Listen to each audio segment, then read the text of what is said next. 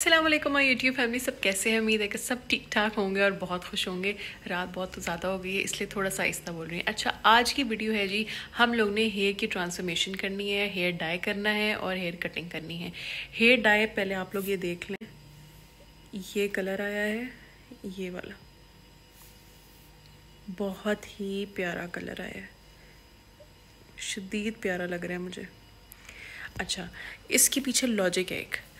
जब मैंने light brown colour करवाया था ना मतलब ब्लॉन्ड कलर करवाया था ब्लॉन्ड ब्राउन कलर करवाया था, वो जब थोड़ी देर गुजर जाती है ना तो वो येलो लगना शुरू हो जाता है, मेहंदी मेहंदी जैसे बाल लगने शुरू हो जाते हैं। आप लोग को शायद वीडियोस में पता ना चलता हो, क्योंकि एडिटिंग हो जाती है और एडिटिंग हो जाती है और उस जो येलो पन था ना, उसको ख़त्म करने के लिए मैंने ये वाला कलर लिया है। क्योंकि मुझे चाहिए था चॉकलेट ब्राउन सा कलर जो ब्लैक की टोन में ना हो लेकिन मेरे बाल ब्राउन की टोन में हो जब सूरज में जा, जाऊँ तो ज़्यादा लाइट लगना शुरू हो जाए ठीक है? ये जी मैंने सोच के तीन चार कलर्स लिए और एक्सपेरिमेंट किया और मुझे बहुत अच्छा लगा इसलिए मैं आप लोग के साथ शेयर करूँगी। चलिए जी अब वीडियो की तरफ़ चलते हैं। सबसे पहले मैं आप लोग को हेयर डाई दिखाती हूँ मैंने कौन कौन से हेयर डाई लिए किस तरह किस तरह लगाया और फिर हम कटिंग करेंगे। चलिए जी हेयर डाई करते हैं। हाँ जी, ये हैं जी सारे कलर्स जो कि मैंने इस्तेमाल करने हैं। ये ठीक है, एक ये कलर है, एक ये कलर है एक ये कलर है, ये फोर्टी वॉल्यूम का डेवलपर है, ठीक है? अच्छा मेरे दिमाग में पता नहीं क्या है कि मैं इनको मिक्स करके एक कलर बनाऊँ, और जो मेरे दिमाग में कलर है वो पता नहीं आता है या नहीं आता। चले जी, मुझे भी बाद में पता चलेगा, और आप लोग भी मेरे साथ ही पता चलेगा जब आप लोग ये वीडियो देखेंगे। सबसे पहला जो डाई मैंने लिया है, पाँच नंबर लिया है लाइट ब्राउन लॉरियल का। रेवलॉन का लिया है फिफ्टी वन लाइट ब्राउन और फार्मेसी का लिया है जी five C P light ash brown और एक मैंने फोर्टी वॉल्यूम डेवलपर लिया है। पहले मैं आप लोग को इसके अंदर चीज़ें दिखाती हूँ क्या क्या है। हाँ जी लॉरियल का बॉक्स हमने खोल लिया है। लॉरियल के बॉक्स के अंदर सबसे पहले एक ये निकलता है। इसको हम इस्तेमाल नहीं करेंगे, मैं नहीं करती। उसके बाद ये प्रोटेक्टिंग सिरम निकला है, ये निकला है जी डेवलपर ये निकला है कलर ये ग्लव्स निकले हैं और ये कंडीशनर निकला है। ठीक है जी, ये नंबर है पाँच। अब देखते हैं रेवलॉन के अंदर से क्या निकलता है। रेवलॉन का बॉक्स खोल लिया है। इसके अंदर सबसे पहले कंडीशनर एक आएगा, फिर उसके बाद कलर आएगा, फिर ये डेवलपर आएगा, ठीक है? और इसका नंबर है फिफ्टी वन लाइट ब्राउन और जो ये जी फ्रामेसी का कलर है, ये है five C P light ash brown brown हाँ जी, तीनों पैकेट के तीनों कलर मैंने अलग अलग रख लिए हैं। अगर आप लोग ने तीनों ये कलर्स नहीं लेने तो आपने ना क्या करना है? फ्रामेसी का कलर लाजमी लेना है, उसके अलावा या लॉरियल ले लें, या आप लोग रेवलॉन ले लें। इन दोनों में से एक ले लें, ठीक है? और फ्रामेसी को तो लाजमी लेना है, इसी के साथ आपके बाल अच्छे होंगे। और एक बाउल ले लेना है हम लोगों ने मिक्स करने के लिए। सबसे पहले ये फ्रामेसी का मैं डालती हूँ। ये मैंने पूरा इसके अंदर डाल दिया, ठीक है? उसके बाद हाफ़ लॉरियल डालूँगी हाफ़ रेवलॉन डालूँगी। अगर आप लोगों ने तीन का ख़र्चा नहीं करना मतलब दिल नहीं करा लेने का तो आप लोग एक ले लें, ठीक है? या लॉरियल ले लें, या रेवलॉन ले लें इसमें से। ये मैं हाफ़ हाफ़ इसके अंदर डालती हूँ। ये देखें जी दोनों मैंने हाफ़ हाफ़ डाल दिया। ऑरेंज कलर का है, ये रेवलॉन का है, और जो स्नैक टाइप बना हुआ है, ये लॉरियल का है। आधा आधा मैंने ये इसके अंदर डाल दिया। उसके बाद बारी आती है फोर्टी डेवलपर जो मैंने लिया था, वो हमने पूरे का पूरा डाल देना है। फार्मेसी का पूरा और फोर्टी डेवलपर पूरा हमने इसके अंदर डाल देना है और जो लॉरियल का और जो रेवलॉन का था, जिस तरह हमने हिसाब रखा था, आधा आधा कलर डाला था और आधा आधा ही उनका डेवलपर डाल लेंगे इन दोनों के। ठीक है? क्यों ने पूरा? फोर्टी वॉल्यूम और बाकी दोनों का आधा आधा। ठीक है। अगर आप लोग ने इस तरह नहीं करना तो क्यों ने आपने फिर भी पूरा डालना है? और रेवलॉन यूज़ करेंगे या लॉरियल यूज़ करेंगे, उनकी पूरी पूरी बॉटल आप लोगों ने अंदर मिक्स कर देनी है, ठीक है? अब ये देखें जी, मैंने आधा आधा डेवलपर भी अंदर डाल दिया। ये पूरा पहले क्यों ने डाला? ठीक है? उसके बाद अब मैं डालूँगी ये दोनों हाफ़ हाफ़ डालूँगी। ये देखें जी, ये दोनों मैंने हाफ़ हाफ़ इसके अंदर शामिल कर दिए। अब इसको हमने अच्छी तरह मिक्स करना है। मिक्स करने के बाद इसको पाँच मिनट का गैप देना है और दोबारा मिक्स करना है। तेल ना लगा हो बालों में फोर्टी फाइव मिनट्स के लिए अप्लाई करना है बालों के अंदर।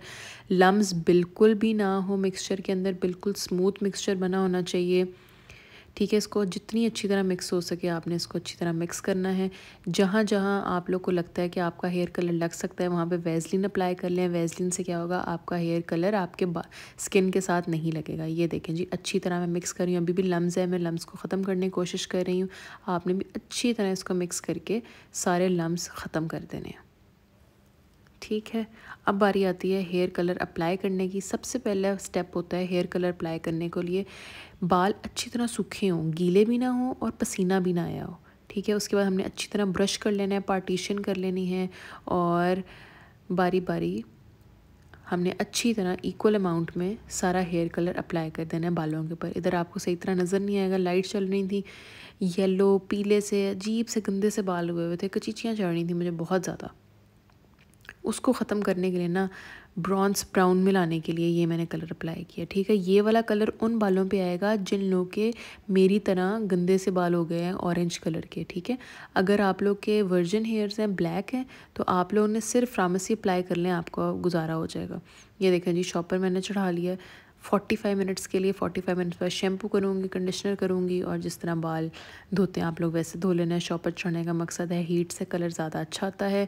ये जी, अब मैं नहा के वापस आती हूँ। नहाने के बाद मैंने ब्लो ड्राई किया फटाफट, मैंने कहा फटाफट बाल सूख जाए, लेकिन यू बोलना शुरू हो गया हेयर ड्राई से फिर मैंने बंद कर दिया। ये चलें जी, अब हम करते हैं कटिंग सबसे पहले आप हेयर का कलर देख लें, पास से। ये देखें। ये जी कलर है। क्योंकि रिंग लाइट में अलग नज़र आता है येलो लाइट में अलग वाइट लाइट में अलग सन लाइट में अलग। लेकिन रियल मुझे बहुत अच्छा लगा। लेकिन ये कलर उनके लिए, जिन लोगों के ब्लॉन्ड बाल थे या बहुत लाइट ब्राउन थे, ठीक है? अगर वर्जिन हेयर ये करेंगे ब्लैक बाल ये करेंगे तो उनके ऊपर ये रंग नहीं आएगा। उनके काले के काले रहेंगे बाल। ठीक है चले जब हेयर कटिंग करते हैं। हमने पार्टीशन कर लेनी है एक तरफ़। देखें, ये हमने पार्टीशन कर दी। इधर क्लिप लगाया। और सबसे पहले हम इस पार्टीशन को करेंगे। अच्छा एक साइड के ना दो स्टेप होते हैं। पहले स्टेप में हमने छोटे छोटे लेने होते हैं पार्ट छोटे छोटे पार्टीशन लेनी होती है और उनको तिरछे कट में काटना होता है। ये देखें हम लोगों ने ये इतने इतने पार्टीशन लेने हैं और इसको तिरछे कट में काटना है।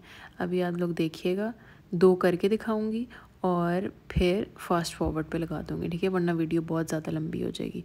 ये जी कैंची पकड़ी है और बालों को बिल्कुल स्ट्रेट कर लेना, जिस तरह मैं उंगलियों के दरमियान में लाऊँगी। कैंची भी दूसरी नहीं ले लेनी, कपड़ा काटने वाली, बाल काटने वाली कैंची लेनी, वरना बालों की ग्रोथ रुक जाती होती है। आप लोगों ने कपड़ा काटने वाली नहीं लेनी बिल्कुल भी। ये देखिए जी, हमने तिरछा करके बालों को पकड़ा और इस तरह इस तरह अंदर की तरफ़ हम लोग अब काटेंगे बाल।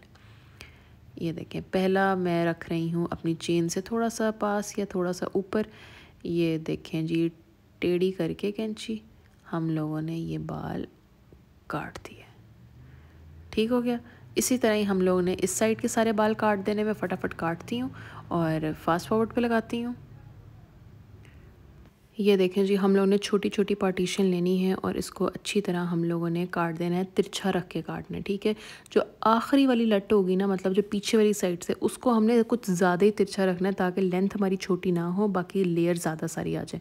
ये जी पहला स्टेप कंप्लीट हो गया। अब दूसरा स्टेप ये होता है कि हम लोग ने जब ज़्यादा सा पहला स्टेप देखा कंप्लीट अब ये दूसरा स्टेप ये है। पहले हमने थोड़ी थोड़ी लेयर्स ली थी, अब हमने पूरे बालों की इस साइड की तीन लेयर्स लेनी है और उसको पकड़ के ट्रिम करना है। एक लेयर दो लेयर और तीन लेयर ठीक है? टोटल तीन लेयर में ये बाल पकड़ेंगे हम और तिरछी कैंची रख के ये देखें, इसको हम नीट कर देंगे। ये देखें, इस तरह हमने इसको नीट कर दिया और थोड़ा सा ऊपर से छोटा कर दिया।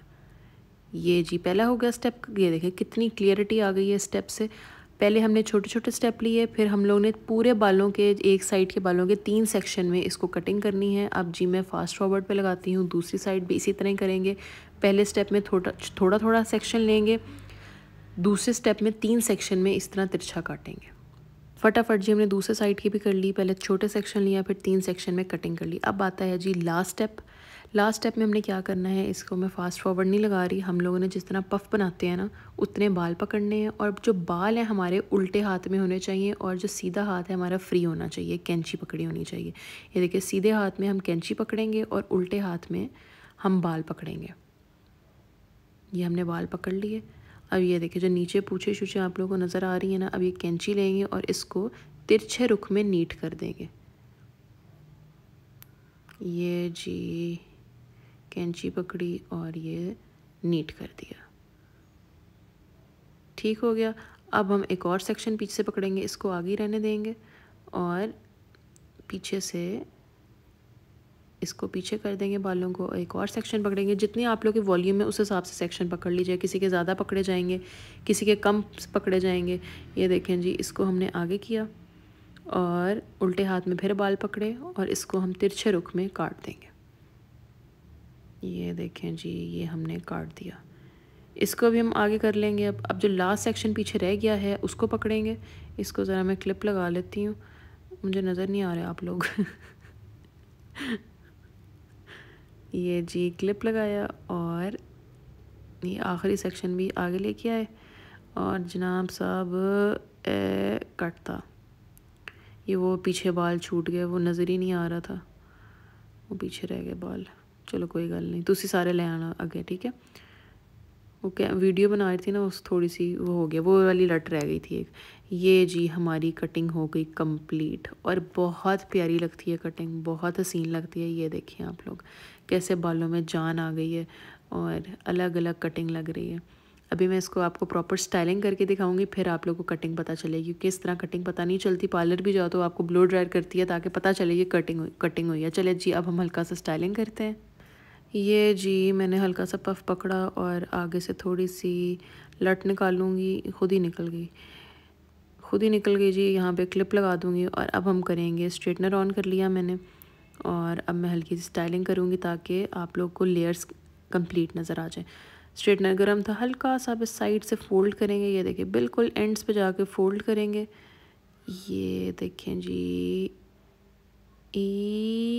ये ठीक है। और बाकी सब बालों को भी इस तरह मैं फटाफट फटाफट करके आती हूँ। ये देखें जी, फटाफट अब हम लोगों ने अपने बाल बना लेने साइड जो लास्ट कॉर्नर्स होते हैं ना, उधर से हमने हल्का सा फोल्ड करने में ब्लो ड्रायर वाली इफ़ेक्ट आ जाता होता है। दोनों साइड से हमने कर लिए। ये है जी फाइनल लुक ये देखें जी, ये आप लोग को फाइनल लुक लेयर पे लेयर नज़र आ रही होगी। डबल लेयर्स हैं ये, आप लोगों ने और छोटी करनी है, और कर लें, लेकिन इतनी सबसे डिसेंट लगती है, हर तरह का हेयर स्टाइल बन जाता है।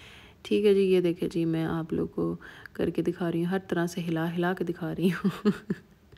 हाँ जी जनाब उम्मीद है जी आज की वीडियो आप लोग को बहुत अच्छी लगी होगी। मुझे तो बहुत सुकून आ गया क्योंकि तीन से चार महीने हो गए थे हेयर कटिंग नहीं की थी बिल्कुल भी, और हेयर डाइसिव को भी तीन महीने हो गए थे।